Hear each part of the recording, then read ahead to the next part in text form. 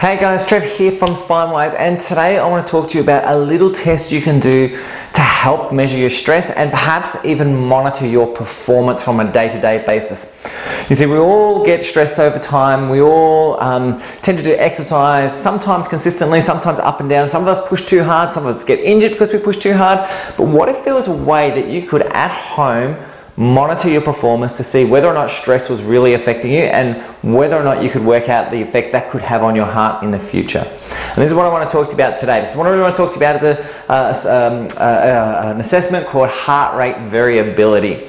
Um, and HRV has been used for a little while now, and it's one of the gold standards that are used to measure our flight fight responses and our um, uh, and also our stress mechanisms. So there's a whole lot of different ways we can measure heart rate variability. But before we get to that, let me give you some little basics.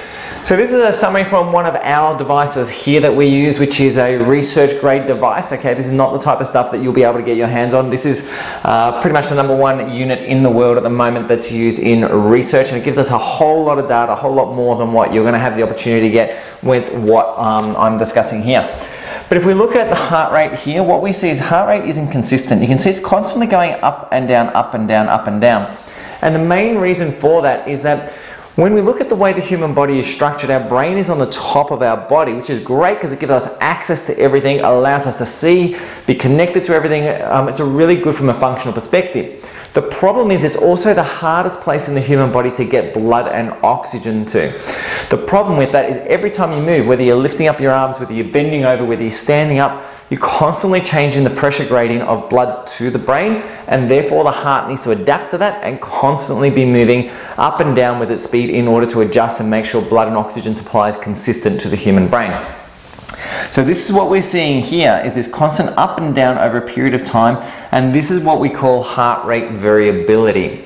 So when we look at the heart rate, when we look at um, on an ECG, we kind of have a little bit of a spike and then a normalization. And what we're really doing is taking one spike to the next spike and measuring how long that time interval is. And by looking at that time interval over and over and over again, it can give us an indication of how variable your heart rate is. In other words, it's an accurate measure of pulse instantly in any split second of time.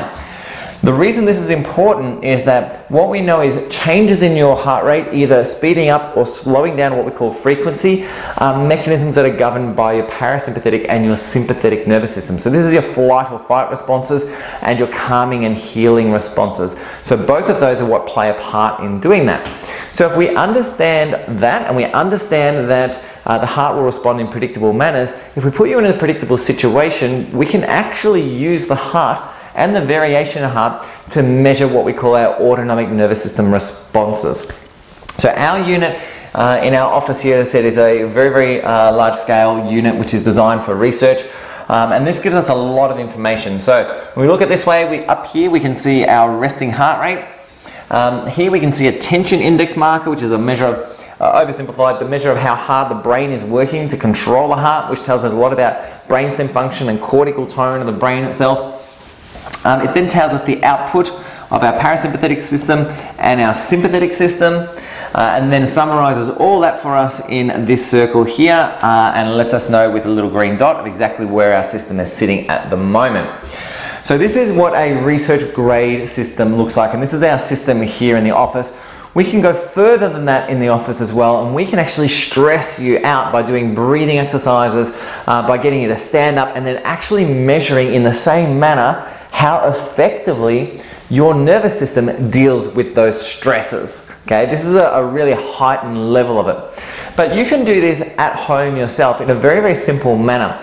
So most of our um, digital watches nowadays, so like your iPhone watches uh, and your um, uh, Android uh, watches, things like that, even uh, some of your heart rate monitors such as your Polar monitors uh, and your Garmin monitors will all have HRV built into them. Uh, even some of the phones, so for instance, you can get apps all over the place now for both iOS and for um, Android that do this. Samsung has their Samsung Health which has this built into it already, which will allow you to basically measure your heart rate uh, and your heart rate variability off it, as well as a lot of other different mechanisms as well. Um, and the whole thing it's going to do is it's going to give you a very simplified version of this. So rather than seeing this breakdown like this, it's just going to give you a simple breakdown version. So what it will basically do is it'll say this side is stressed, this side is not stressed or calm or relaxed, whatever the different device does, and it will give you a graph as to where along there you currently fit. Okay, so what it's really doing is giving you a simplified version of what we see here. It won't break it down like this because you really do need high high-end detailed accurate software in order to produce that, okay? But doing this on a regular basis can give you some insight as to what your stress levels are doing. Um, there are now also specific devices that you can wear which will do this such as rings and wristbands and things like that that will monitor this on a, on a constant 24 hour basis and give you um, feedback that you can see graphed and, and see constantly to see how well you're functioning.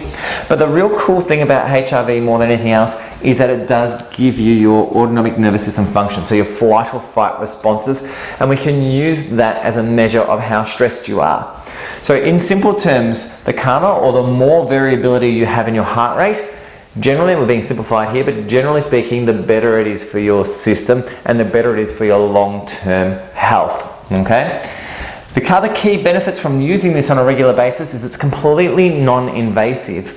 So all it takes is a couple of little uh, uh, electrodes or a watch or an ear clip, something similar to that to be able to actually ascertain how your autonomic nervous system is functioning and you can do it at home. It's really, really easy to do. Um, I said there's no, um, there's no entity or no body at the moment that's regulating HRV in the world. Uh, so there's no way of actually working out which devices are working well and which aren't. Um, so you need to be careful from uh, device to device. I mean, our software is a little bit different.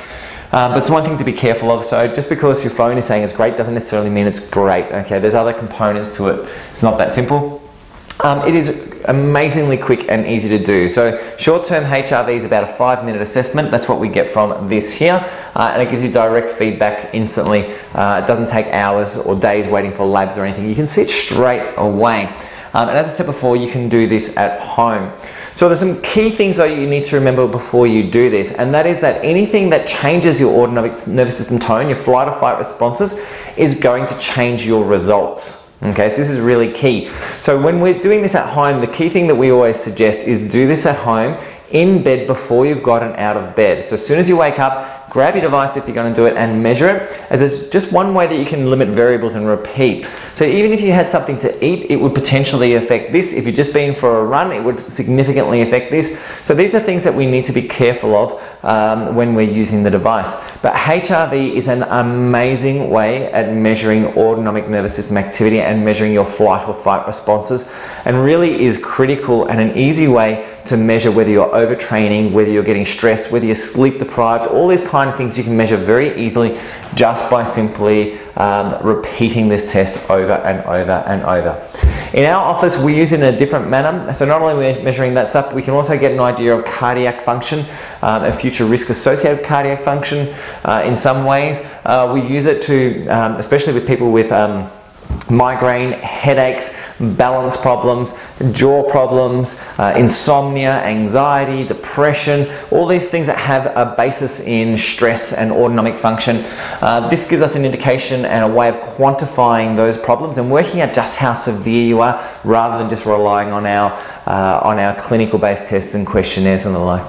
But anyway guys, if you have any questions at all about HRV, just post them up, send me a message, always happy to help, you know that. Um, HRV, there are a ton of different software programs. If you can't find any software programs, let me know. Um, it's always better if you've got a um, heart rate monitor with a chest strap that you can use. It's always going to be more accurate than if you're putting your finger on your phone or using a light-based watch or an ear clip to do it. Um, so uh, software like Elite HRV, which you can get on your phones, works really well. You can just get yourself a, a heart rate monitor strap that hooks onto your phone, like a Bluetooth version of that, uh, and that'll give you direct feedback in a fairly accurate manner. But nowadays there's a ton of different ways you can measure HRV. You can do it at home. I said not all of them are very accurate. And none of them you'll find are, are going to give you the detail that we have here. Uh, but it's just one more tool that you can use at home on your own to measure whether or not you're coping with your lifestyle and how changes in your lifestyle may be positively or negatively affecting you. Anyway, guys, that's it for me for today. Uh, if you have any questions at all on HRV, uh, just post them up. Let me know. Um, tell me what you think. If you're using an um, HRV device already, your phone, your, um, your watch, whatever, um, let me know what software you're using. I'd love to know uh, and see exactly who's using what out there. Anyway, bye for now for me, and we'll um, catch you in the next vid. See you guys.